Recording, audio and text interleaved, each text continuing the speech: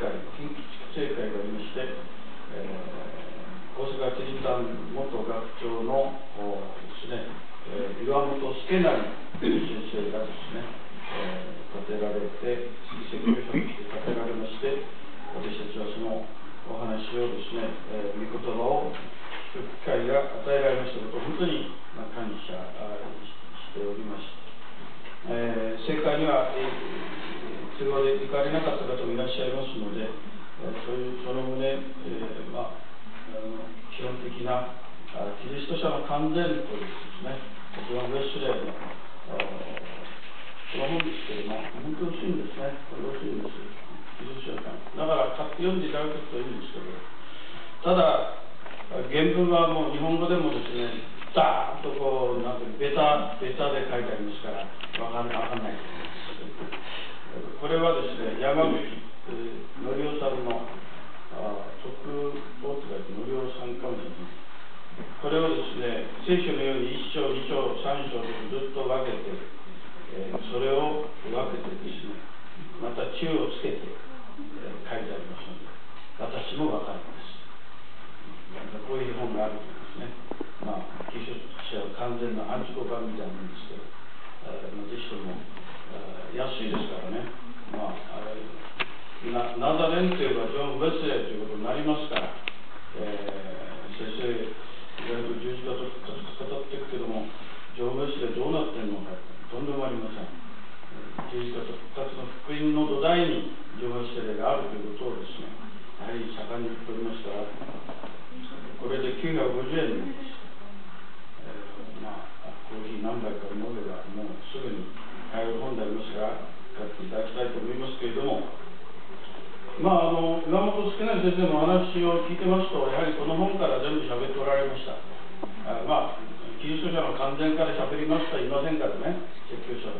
そういう中でまああのこの本を知ってる者はあやっぱり先生ここから喋ってるなというものたくさんありますからあのえー、やはり全く清められた人の成長があるとかね、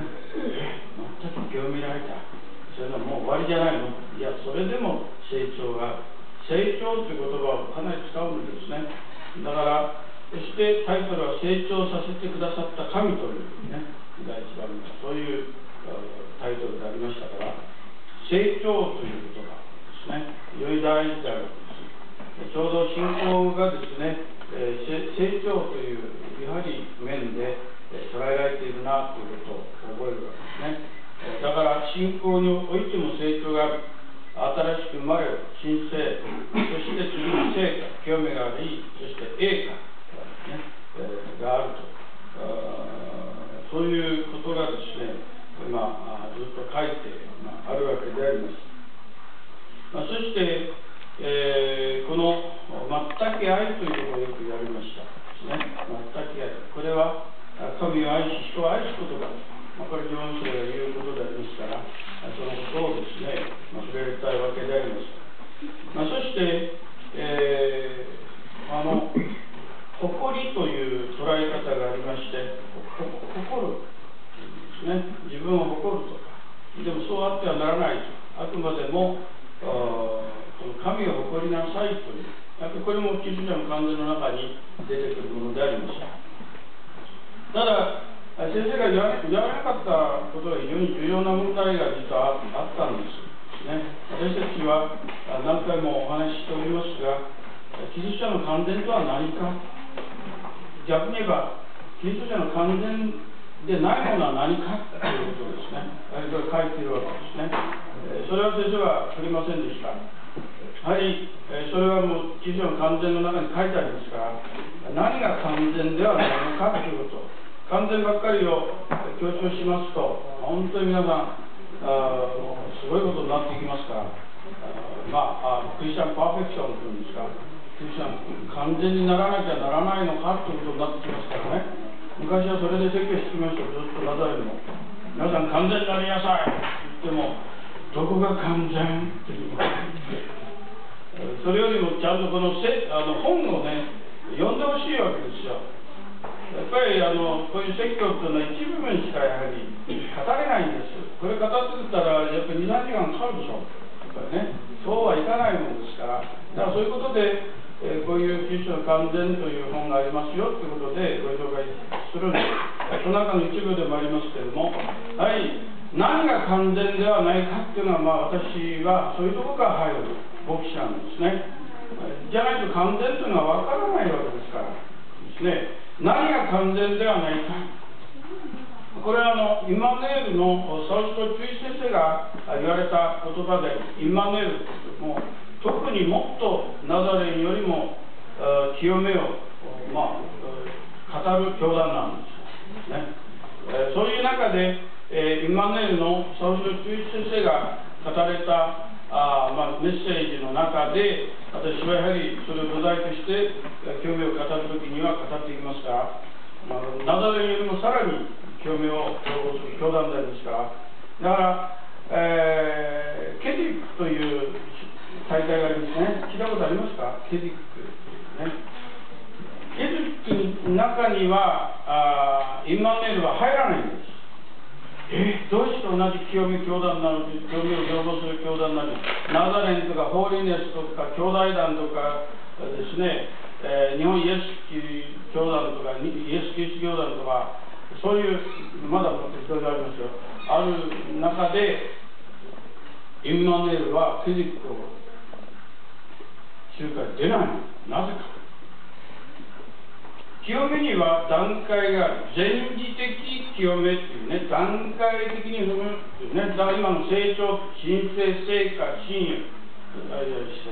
神聖成果栄華というですね段階その間には成長というのが入る成長していくというね。そういうものがですねあくまでも前儀的っていう。ところが神聖生まれる時それから清められる時栄化される時これは瞬間的っていうんです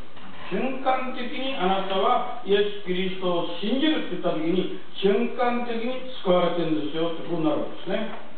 それで清めもそうでこれもやはりあのこれは一方的な実は清めなんですが私たち自身から出る清めじゃないんです。ある時前時的っていうか清めを標榜していく時にある時主から清められるという段階が来ますよということねただここが問題でありまして、まあ、これ後から触れますがもう一つは栄華これは死んでからの話です、栄華さ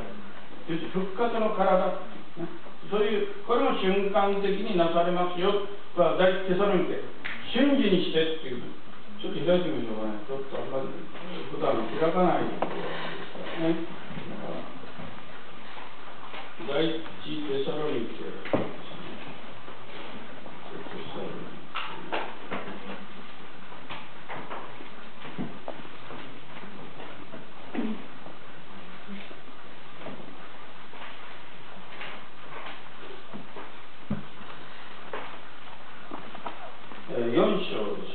366ページ